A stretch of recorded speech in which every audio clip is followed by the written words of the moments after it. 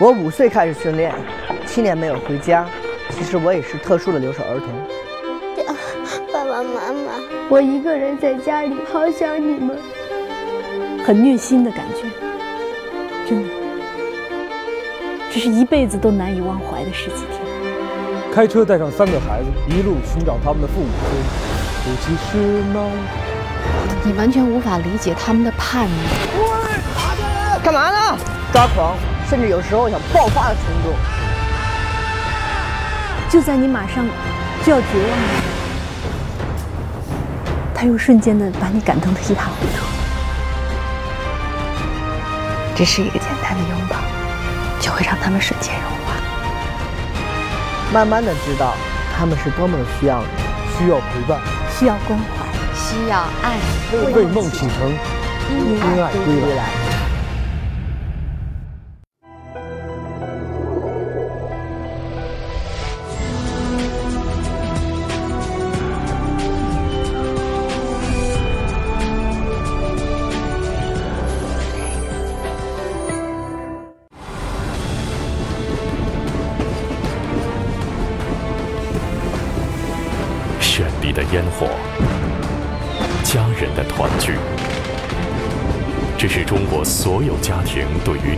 的期盼。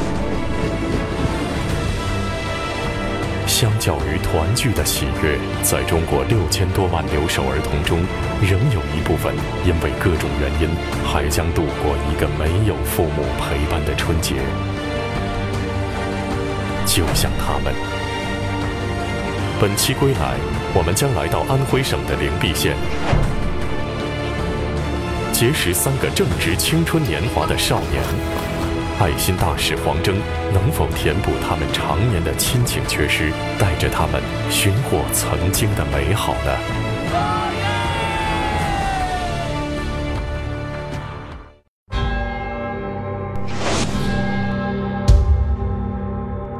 我相信大家对留守儿童只是一个概念或者一个名词，当我亲身走进他们，经历这些，感触良多。走就走吧，还舍不得。我爸过年没回来，不是什么好孩子吧？应该是。别跑了，出发了。有看到刚才两个小孩儿，就算今天晚上不管到几点，肯定要找到他们。陈梦妮，陈梦妮，等我见到我砸你！别打了，别打了，别打了。你现在下车，你该去哪去哪？像个女人似的，叨叨叨。我能不能活着回去？我现在都口不了。加油，一个都不能落。我要见爸爸。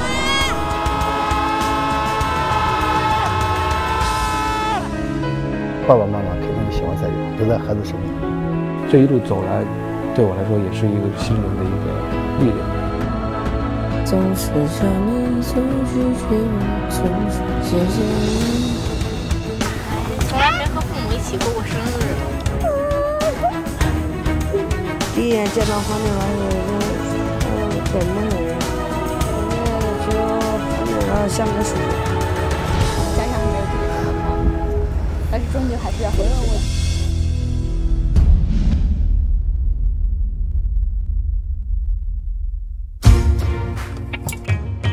拍节目的时候，我想去做个头发。我最看重的就是平时自己的发型。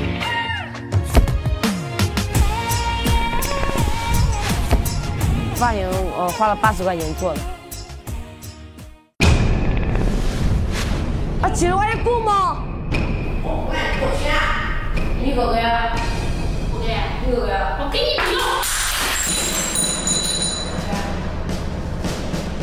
妈妈非常唠叨，我特别烦她。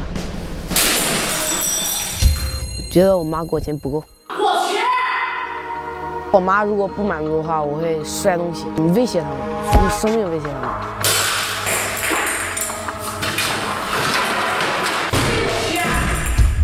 闹得整个家里都不得安宁。这个孩子的性格呢比较复杂，主要的是叛逆多一些，尤其在家里。老师不喜欢我，天天在学校除了惹事还是惹事。今天打架的什么都有我。你过来。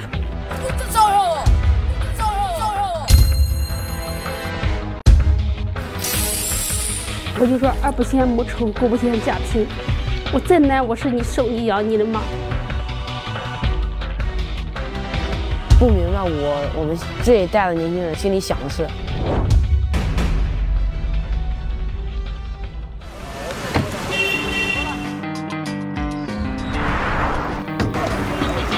黄征，流行音乐制作人、歌手。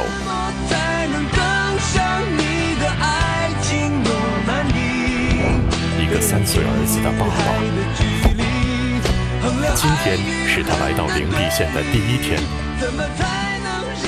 他的第一项任务就是到三个留守儿童家中做家访。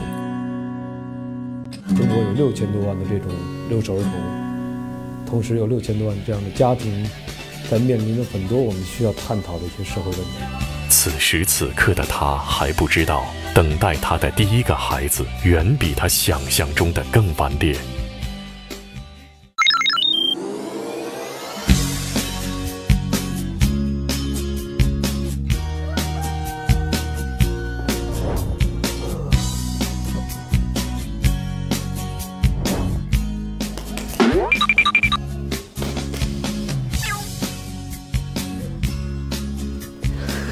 你好，你好，我是我是黄征。啊，你好，你好，你好，这是夏成龙的家。啊啊，是，我是他妈妈。你是妈妈，你好，你好，给他姐姐，他在家吗？他去玩去了，打打牌去了，一早出，一早就出去打牌去了。反正那，你除了你除了你你你除了蛋个，那么那我那我也出了。他他他多半少数，转给你的，转过去，来个十我都用了，放你账哈，小的哈。斗地主，跑得快，八十，炸金花。你觉得现在咱们去找他，他在那玩牌，他能出来吗？应该能吧。喝喝喝喝。要来了。没钱回来我们回家吧，行吗？要来了。钱喽，给你钱拿着。不拿。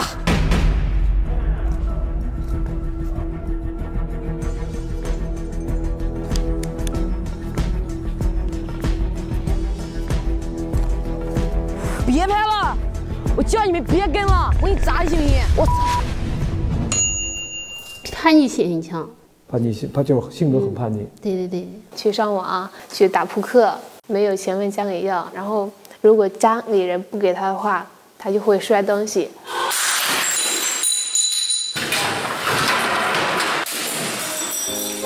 闹得整个家里都不得安宁。他说的话很让我伤心，他就，他都光知道钱，光知道要钱，就不知道父母挣钱多么不容易。他今天说什么了？他今天要钱？他说看我恶心，看我想吐说的，我听得我真是特别伤心。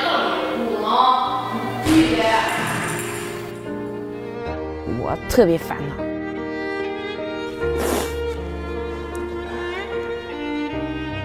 这个腿，你看我这个脚，这是你从小得的得的这个八岁时候八岁时得的。嗯，看我这个，看他都不理解父母，他就光知道要钱。大年初一不是压岁钱吗？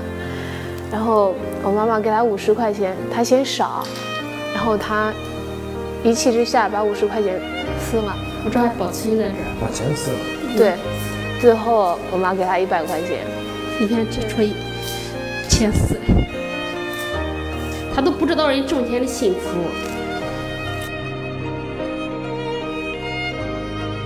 他就因为这钱少，才把钱是的，嗯。最后现在就是每次要钱，如果达不到他的数目，他就要不就是发作，要不就是要不就是骂人捣乱。这个知道给到他满意了。他听你爸的吗？不听。也不听你爸的。他跟他爸爸根本没有没有感情，就是他常年在外面打工。他爸今年没回来。啊。他爸出去打工多少年了？从我小时候我爸就在外面打工。从你小时候，对，你今年我今年嗯十九。十九。行了，别不开心了，还还琢磨你刚才你姐这点事儿呢。你想你爸吗？对，对，为什么呢？烦他。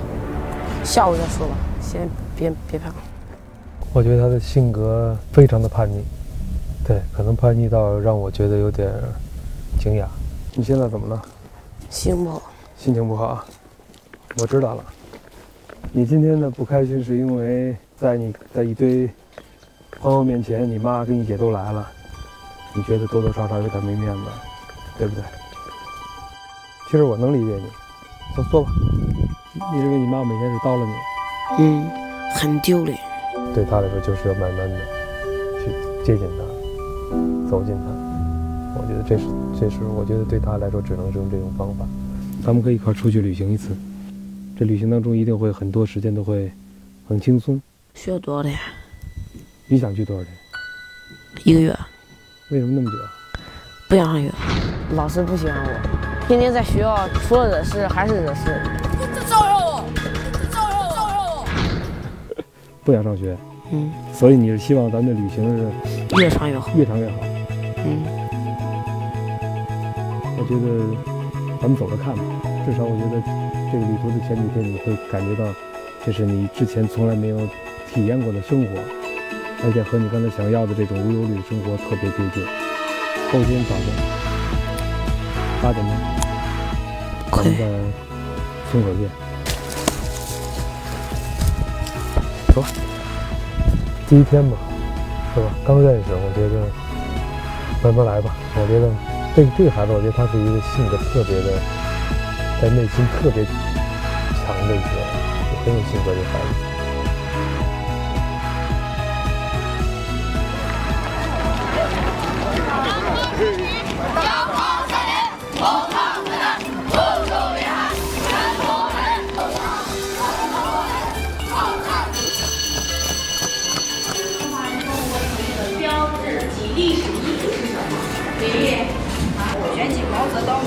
华人民共和国中央人民政府主席。你看，他下面也是有的说美军登陆就登陆到了这里。不仅当班长，另外呢，他这个学习成绩也很优秀，每一次考试几乎都是前几名，几乎都是前三名。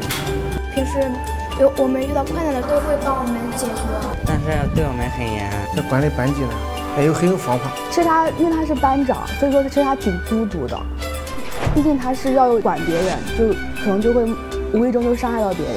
所以我觉得他应该是那种很孤独，然后借助学习来就是逃避一些事情。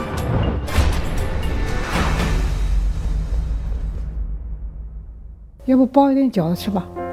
哎，今天怎么包的这么多哎？你弟在家吗？多吃一点。倒酒饺子。嗯，我吃完。多吃一点，多吃一点。我刚吃完。明天你就要你就要在家了，今天下午刚收到的消息，我和你妈妈明天就要就要出发去打工去了，在家里面要好好好学习。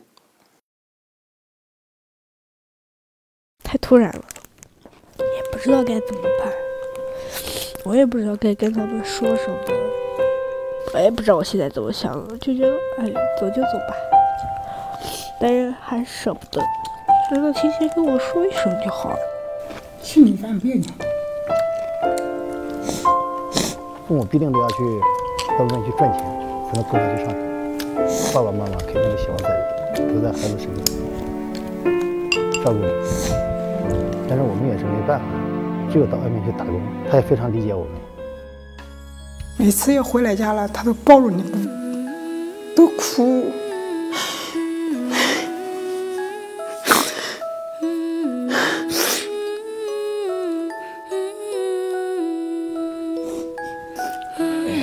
没关系的，我们过了几个月就回来了。我心里也不好受，不过没办法，为了生活必须出去打工嘛。刚才那个老板打电话来，叫明天过去，因为那边的工地开工了嘛，说人员要还要固定一下。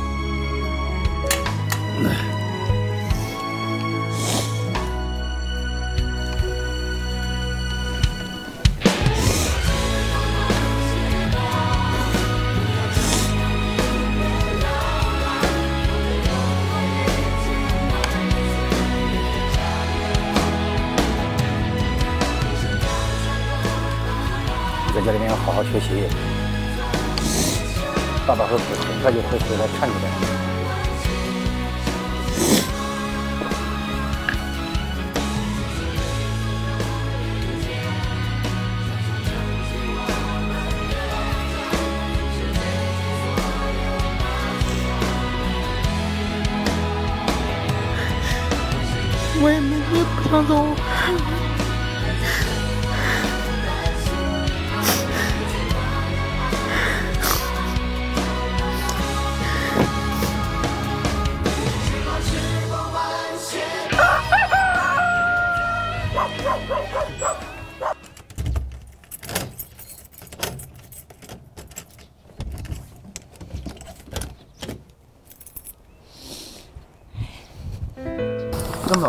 去哪？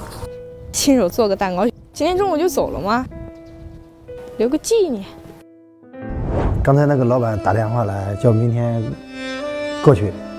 哎，因为那边那个工地开工了嘛。好多蛋糕，待会我可不可以做一个嘞？做不了。为什么嘞？他忙啊，主要是他昨天夜里三点开始做，做到现在。真的不行啊！那你妈妈明天就要就要出发去打工去了，爸爸会回很快就会回来看你的。好失败哦，你没办法呀。其实我做这个就是一个心意，因为平常我爸我妈不在家，然后我妈妈还有二月多就过生日了，提前给她过个生日。啊，我我从小长那么大，还从来没和父母一起过过生日。知道啊。没有这些，提一下有多重呢？提到车上了。这走时候晚上睡觉叫门关好哈。哦。走吧。走吧。啊。好。慢点啊。好，再见。姐做饭啊。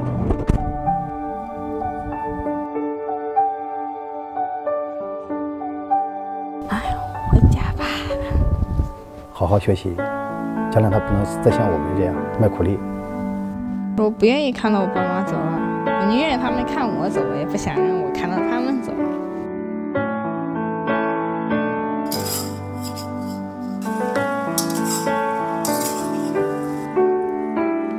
送走了爸妈，比利又恢复了一个人的生活。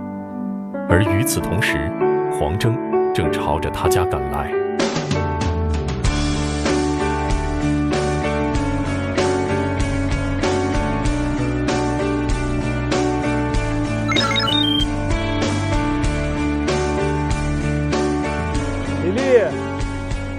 李丽在吗？在，等一下。李丽，哎，你好。我是黄峥。哦，你好，请你啊。你在干嘛？我在做作业啊。房间里刚做作业。还寒假作业？哦，不是，啊，我寒假作业做完了，我现在正在预习下学期的时候，就说在买下学期的练习正在做。请坐。好。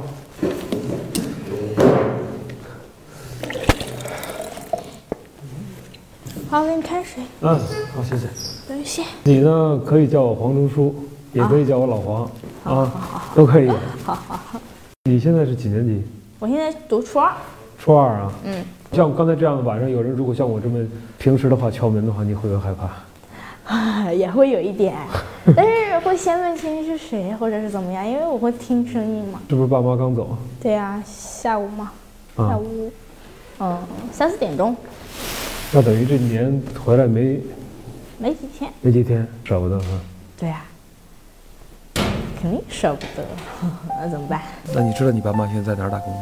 到上海去了吗？上海啊。嗯。父母走了嘛，虽然说是很悲伤的，但是对于他们对我还是要把乐观的一面给别人看。如果说我把我不开心表现出来，大家都会不开心。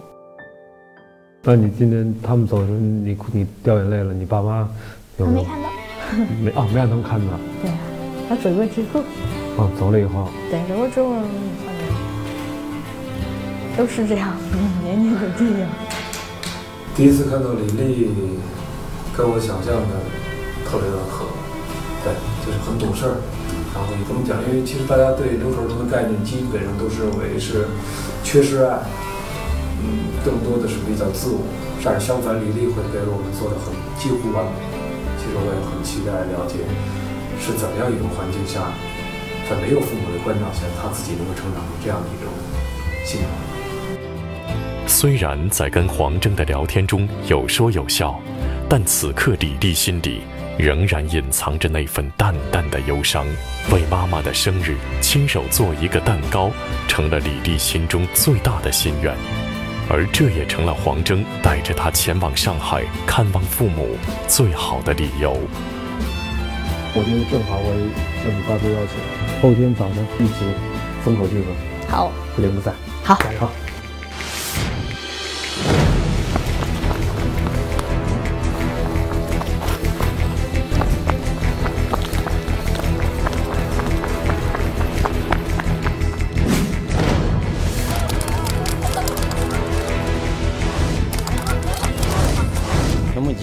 说是我们班最调皮一个同学，最难管一个同学，所以成绩不太优秀。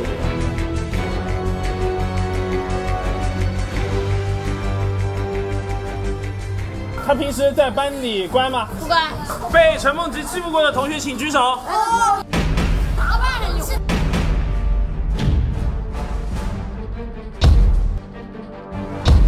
班里是陈梦吉朋友的人举手。他的脾气很暴躁。因为学校的朋友不多，村里的小伙伴又不愿意跟顽皮的陈梦吉一起玩耍，手机变成了他最好的伙伴。为了能玩游戏，周边邻居家的无线密码早就被他层层攻破。密码多少？一到九。哪一个？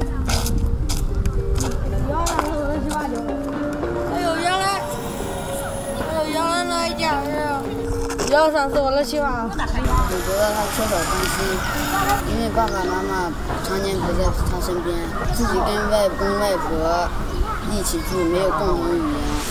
接着听啊，我问你话，你要好好回答，知道不？啊。嗯。把老师可以。啊。你跟他说，你就跟他说。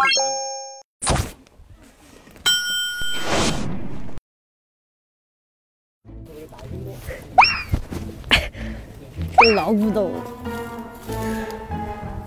你把它关上，都关上。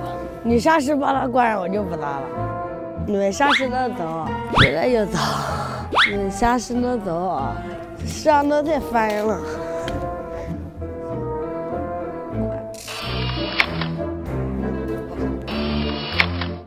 主要还是没人教育他，没人看着。他本来从小就比较调皮。黄土石块堆砌成四面漏风的墙，这里就是陈梦吉的家。在这个不足十平米的小屋里，随处堆放着捡来的废品，让屋子里弥漫着一股刺鼻的味道。因为妈妈常年在外打工，家里就只有年过古稀、行动不便的外公外婆与陈梦吉相依为命地生活着。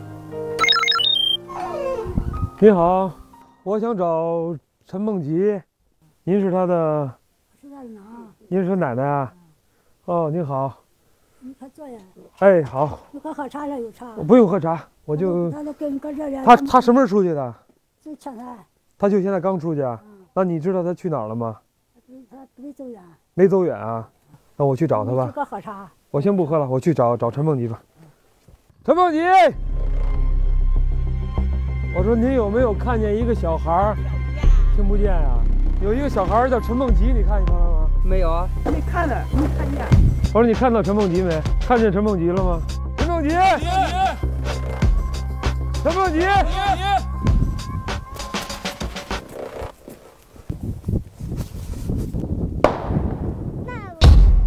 跑的那就是他，陈梦吉。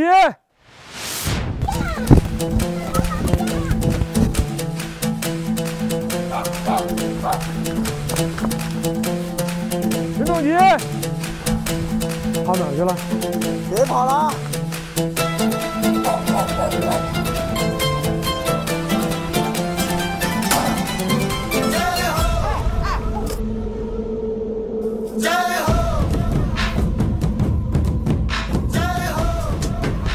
这孩子跑得太快了。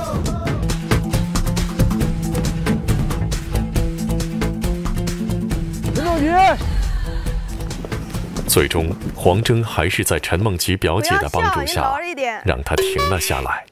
我找你，找你。我叫黄峥，你就叫我黄峥叔叔也可以。啊，喊叔叔。啊，别害怕，别害怕，没事握手，握手。别害怕，没事。放松，放松，放松。先来，先来块糖吃。来，来吧，没关系。不吃。搁你兜里。别别，没事。不吃啊？哦，你你多长时间没见你妈了？一个学期。一个学期了。你妈在哪儿？不知道。你带我到你家里坐会儿行吗？嗯。排第六。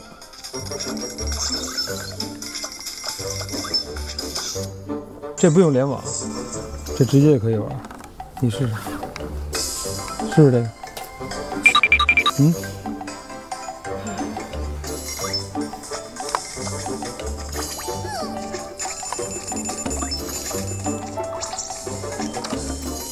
我刚才打了三千两百多分，排第六。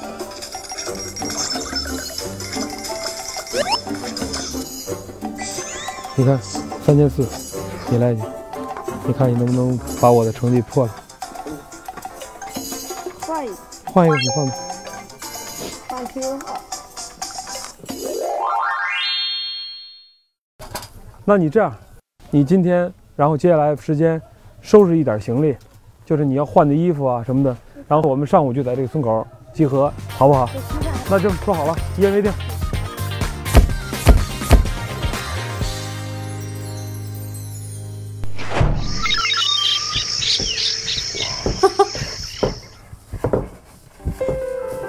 油炸果子，给那个夏成龙他爸爸带过去，他爸爸也喜欢吃，今年没回来，做点给他带过去。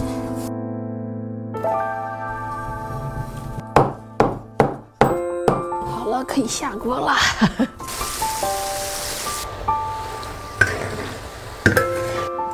好了，做好了，可以吃啦。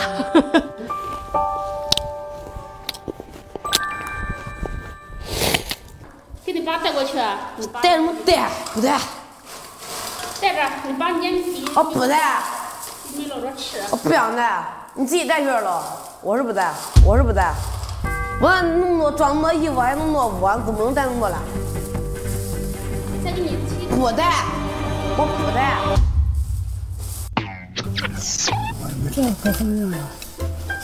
这玩意是他做的。这袜子带你带你带不带？你带两双袜子，一百块钱。这都啥样的？你牙膏呢？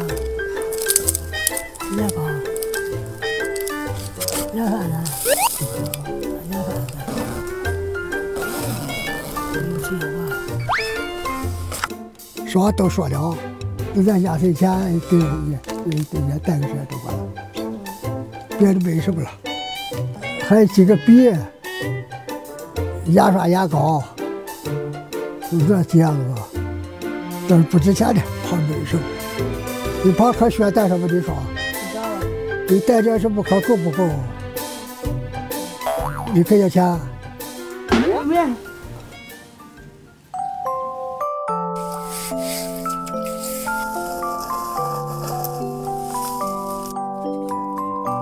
得知外孙要去见妈妈，外婆拿出了平时家里最舍不得吃的方便面，为陈梦吉做了一顿丰盛的早餐。就下个发财面打鸡蛋，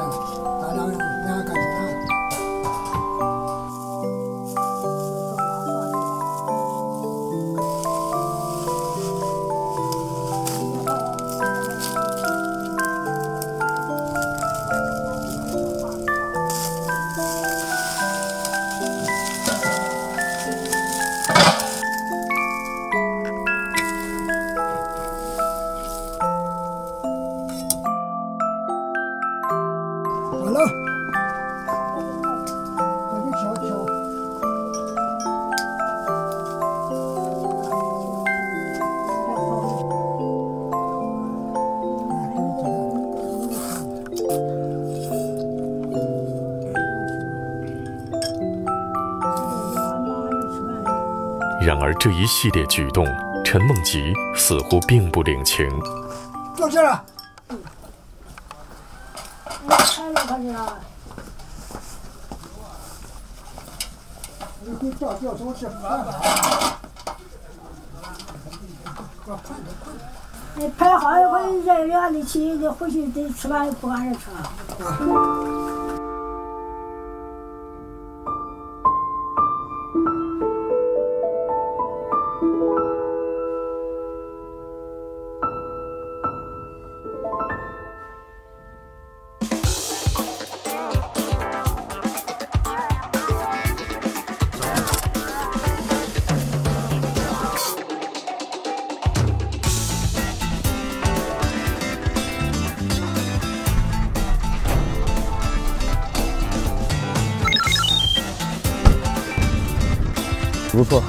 很守时。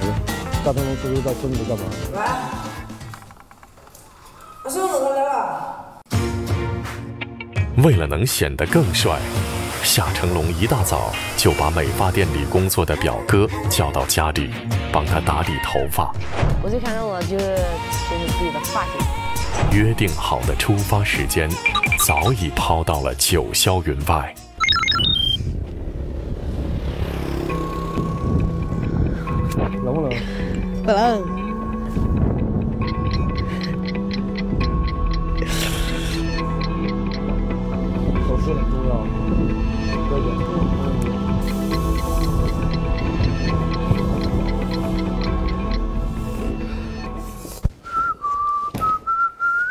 兄弟收拾差不多了，但是我觉得还差一些什么钱。把你那个寒假作业带上。不带，不带。我给你撕了两天，让我带可以，给我一百块钱，给我拿一百块钱。我我不，不要那样看我。一百块钱，一百块钱，一百块钱。啊，不了。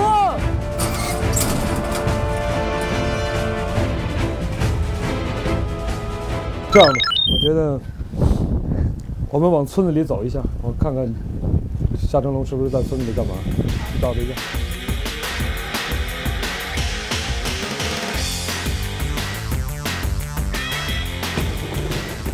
作业。不要，寒假作业。我不要。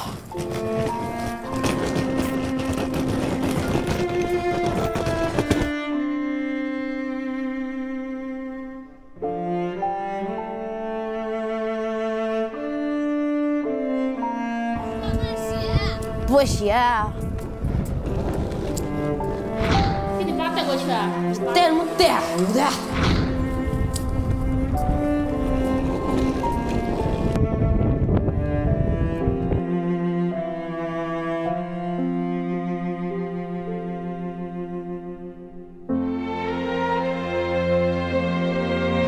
我再难，我是你手里养你的妈。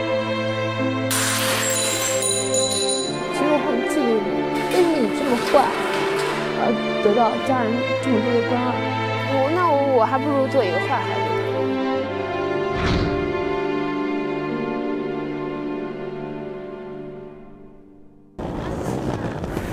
啊，不能！啊，不让你！哇塞，什么情况？发型好帅呀！发型帅不帅？黄色的头发，然后前面是红色的。觉得很讨债，因为头发染成那种橙色的。头发染的呀，不是什么好孩子吧？应该是。我们都在等你啊！啊！今天早上新弄的发发型啊？呃，哦。啊？这发型也太帅了。那个寒假作业交着。给我吧。啊。谢谢你啊。没问题，放心吧。啊。这个是啊。给他爸爸带的。给他爸爸带的哈。好，行。自己家做的。自己做的哈，行。会会让他会会让他带给他爸的啊。行了，放心吧，回去吧。啊，挺冷的。哎，那个夏成龙，不跟妈妈姐姐道个别吗？如果明天拥有一切，你会不会想起从前小小的房间？喧闹拥挤的地铁，那憧憬的双眼，未知的明天。大钟楼，不跟妈妈姐姐道个别吗？我们的青春在爱里等待，我们的故事在爱里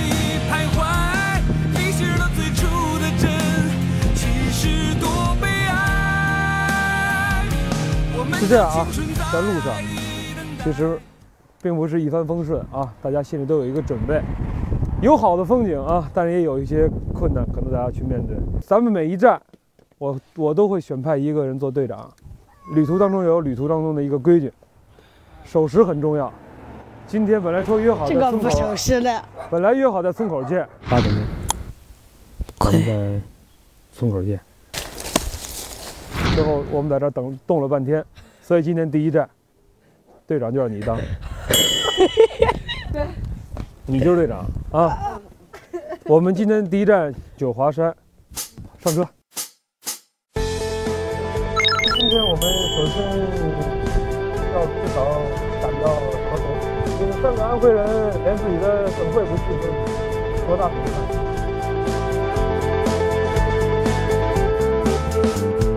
梦想在什么地方，总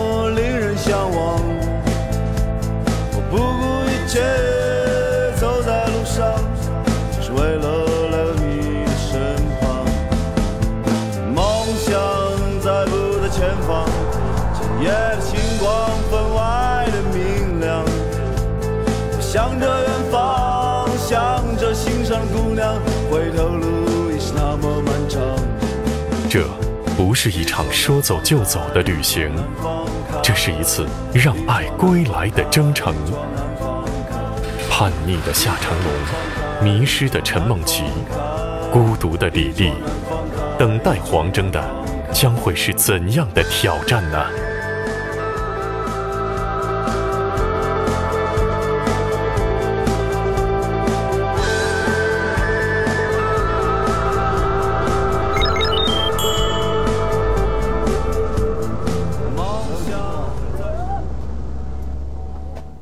啊，走，开路。这叫步行街。好漂亮的一个地方啊！哇，好多车啊！大晚上到处都是车，灯特别亮。明天我们会在九华山宿营，嗯，所以今天晚上在这儿要买一些关于明天宿营的一些必需品。从来没在外面睡过觉过吗？会改变一个人对很多事情的一种看法。我包括今天在买这个野外生生存的这些东西的时候，我特意把他们三个叫到我跟前，我很细致的一一给他们做了一些讲解。宿营的话，首先要找一块相对来说避风或者相对来说平坦的这样一块空地。我在潜移默化的帮他们去树立一个，这就是一个团队协作的意识。我就感觉已经开始慢慢的像个缩水海绵在开始吸水了，就开始吸收这一切从来没有经历过的一些现象，就是已经开始觉得这个城市这次旅行能给他们带来很多让他们觉得很开心的事情。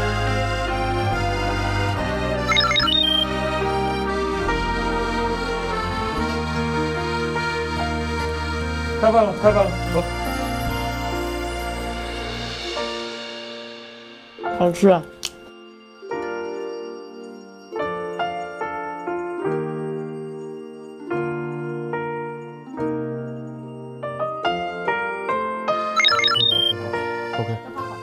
好习惯。那我去看看他们俩。好，再见。嗯。看见他们俩了吗？跑走了吗？陈梦洁。我其实去的目的是主要看那两个小子，嗯，但是这一去，发现问题很大。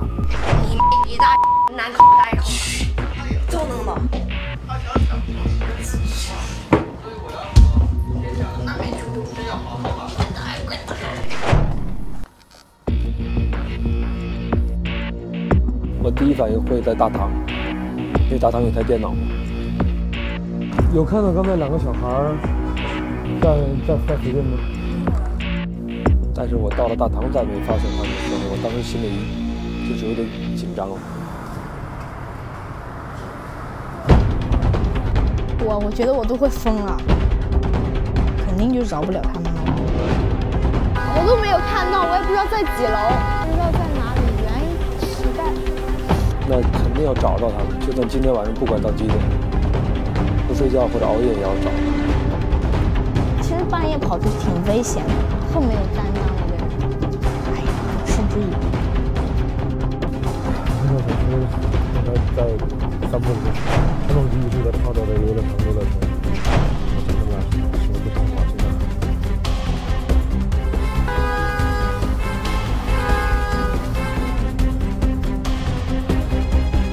发生点问题在我手里，这一路上我带他们出来，如果发生了问题，那这个我是要负责任。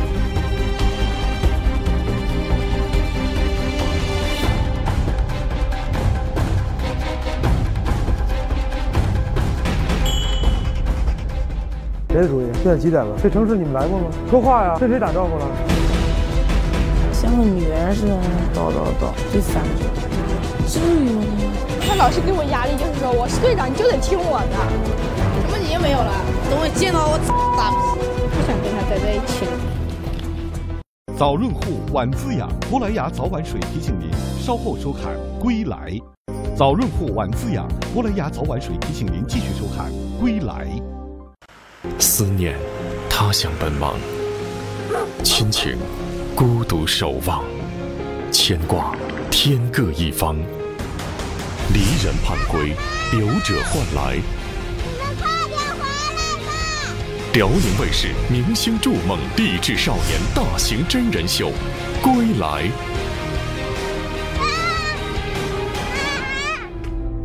四位爱心大使，十二个懵懂少年，你们在外面辛苦了。从乡村到城市，从已知到未知，千百感交集，一场充满意外的奇幻冒险，一段赋予能量的成长旅程。二零一五年四月，为梦启程，因爱归来。看见他们俩了吗？今天晚上不管到几点，不睡觉或者熬夜也要找。其实半夜跑出去挺危险的。陈梦吉一直在吵着这游乐城游乐城，我想他们俩是不是偷跑去那儿？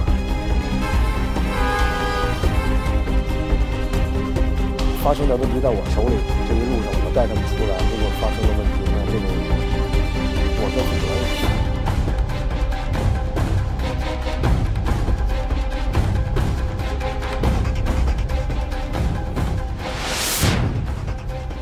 谁的主意？现在几点了？我问你们呢，现在几点了？现在十一点了。这城市你们来过吗？说话呀！跟谁打招呼了？你们父母不在身边，我带着你们出来丢了或者出点问题，算算谁的？这么晚了还跑来跟谁打招呼了？主意很大啊！回去再说，走吧。其实我在去之前我很火，我心里很错火。我见到他们那瞬间，我我很想爆发，但是我不想这么做。我觉得那么做的后果，这个距离就从此开始慢慢的存在了。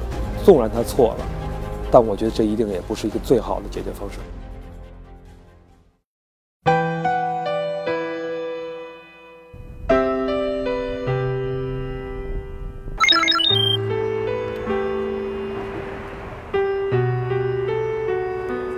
我先跟你聊，啊，我先跟你聊，你先到你屋休息会儿，先到李丽屋休息会儿，啊。我会选择把他们两个都分开，因为我觉得谁都有这种自尊心吧。当着所有人去指责一个人的问题，他纵然再错，他也会觉得这一刻他颜面扫地。咱们是一团队，团队有四个人，你们俩想单独行动的话，不跟任何人打招呼，而且在这么晚的情况下就出去，团队每个人都这样的话，这个还叫团队吗？想玩儿，我能理解，玩之前是不是要打个招呼？看着我，我我说你你明白吗？我说的你明白吧？嗯。再说了，现在咱们今天也布置的作业，你做完了吗？作业？我准备晚些了，准备什么？晚些回来。晚点，现在都十一点了，你准备几点写？现在做作业，把你该做的今天的事儿做了。我对陈梦吉基本上就是，对我的这个跟他这个沟通的时候，他的反应是正常的，就是认为他自己错了。第一眼见到黄磊老师，我跟陌生人，现在就黄磊老师像个叔叔。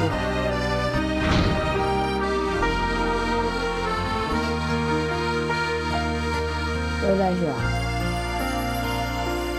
但你觉得今天事你做的怎么样？你觉得今天晚上这事儿你怎么样做的？我在跟你说话，你是不是有个反应？我在跟你说话，你是不是有反应？有。你觉得你今晚这事儿做的怎么样？不好。今天晚上这个主意有点大。如果发生点问题，后果特别严重。你是队长，你得对咱们四个人负责任，不是只对你一个人负责就可以了。我不想像家长似的那样唠唠叨叨的唠叨你，因为我觉得咱们是朋友。但是朋友不应不应该像你这么做事儿，用你哥们儿之间的话就不仗义。你这么晚出去了，你不跟任何人打招呼，你知道我担心吗？你知道吗？夏成龙多多少少他还带带带着一种抵触，这个话必须要讲。至于真正能说动他多少，我觉得只能接下来我们在这个旅程中再去看。这是什么想法？特别好，像个女人似的叨叨叨，最烦这人，至于吗？他们。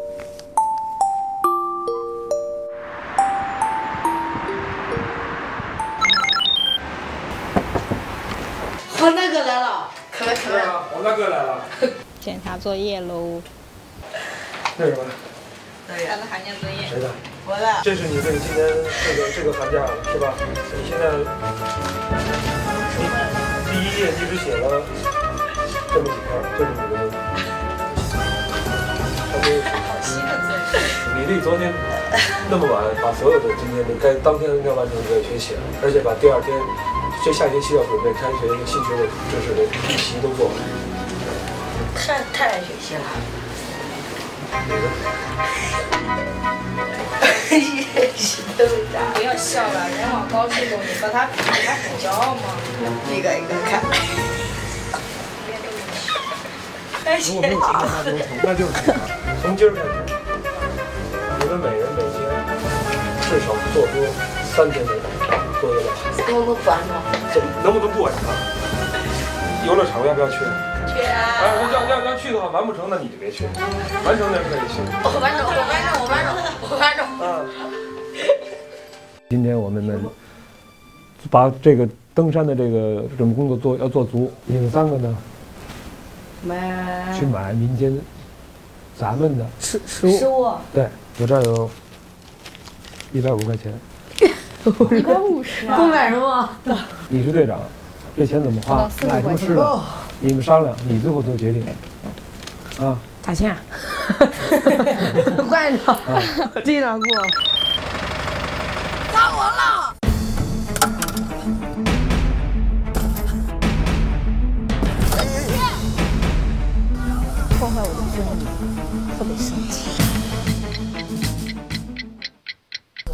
他是一个大实验，他的成绩非常好，次次都是年级第一。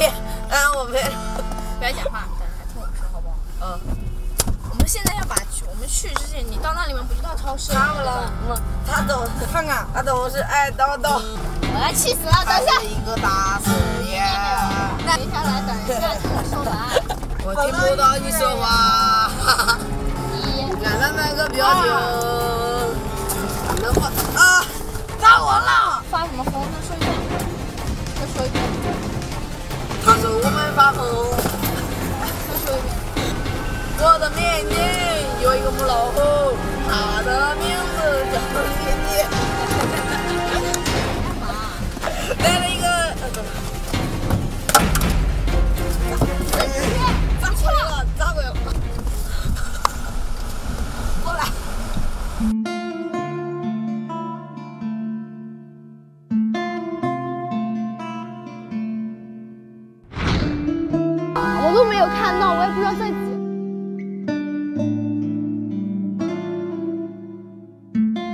我说你都掉了一个。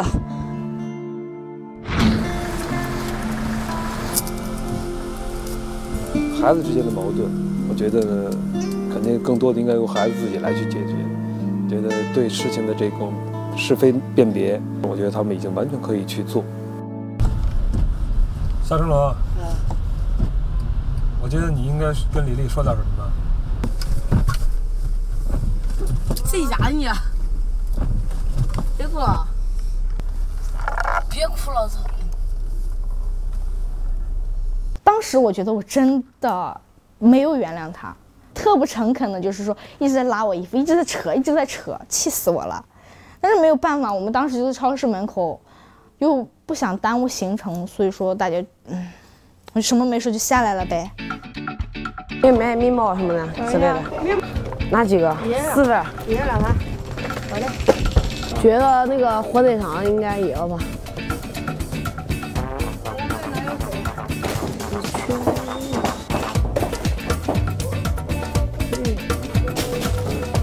酒可以让自己更有劲吧。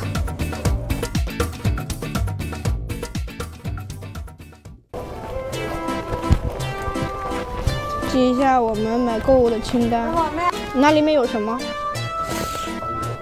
我觉得买的应该相对来说实惠一点，而且但是冲击效果应该好一点的。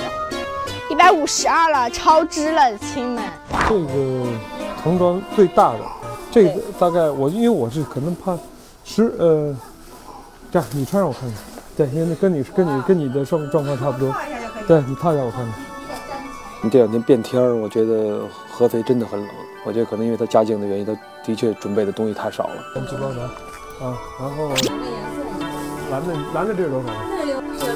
这个要六五。没有，哦，知道了。哦，这就六零啊。那你拿两个六，这个这个六五，这个六五，这个六零。拿出来，拿矿泉水。问一下干嘛干嘛？我们在晚上要喝酒吗？可以喝的呀。可以喝，你自己喝。不行。好了，把水可以喝，把水换回去，拿矿泉水。嗯，回来，快点。哦，你到你到底要干嘛？你能不能有点责任感？啊啊啊啊！把水放回去。水水。矿泉水。所以说我就一直在生气，一直在生气。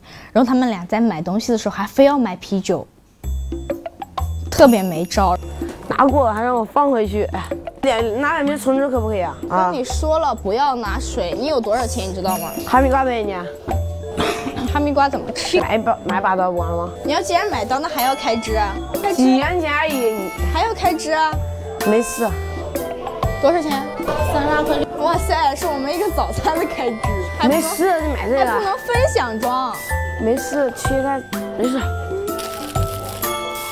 不行，这个真的不行，控制支出，真的支出不够。哇，好贵！你能不能听我一趟啊？夏成龙，不能买东西了，我们现在我是队长，我是队长，我是队长。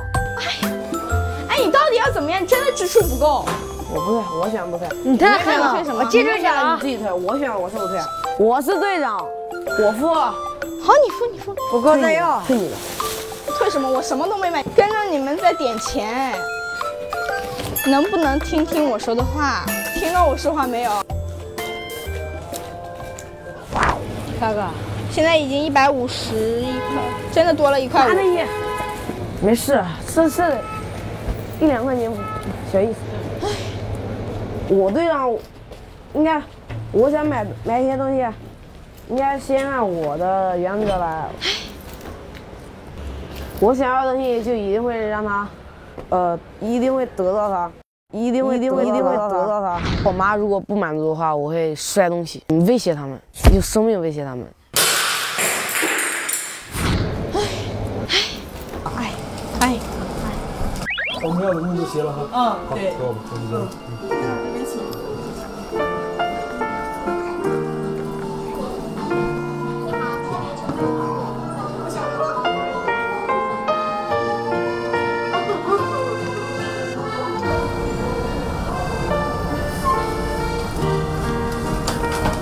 丽丽，我想去发廊。发廊干什么？洗个头啊！哎，说他老是给我压力，就是说我是队长，你就得听我的。我现在心情最不好的，特讨厌，他们俩就跑没影了，烦死了都，不想跟他待在一起了。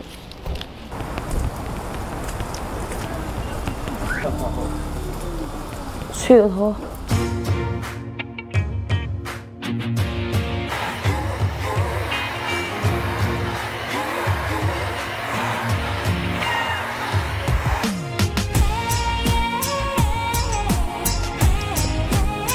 帅，是是是。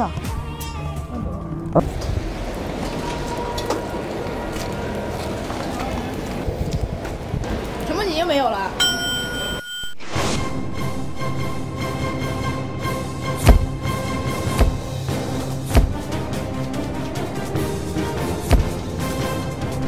找一下陈梦吉吧。陈梦吉，陈梦吉，陈梦吉，陈梦吉，天这么冷他还跑。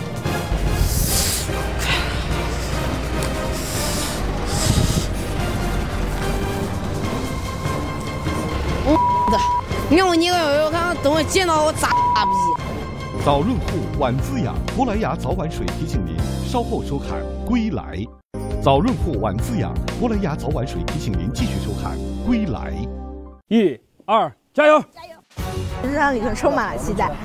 这个城市呢很繁华，给我解释清楚，你不要咋逼？我是队长，应该先按我的原则来。我不想做。不要跑了，不跑了。不给李丽同学们道歉。你现在下车，你该去哪儿去哪儿。向导，向导，向导找不到了。这个孩子感觉到有点慌，李丽今天的状态不太好，膝盖特别疼。我能不能活着回去？我现在都恐怖了。天啊！我要见爸妈。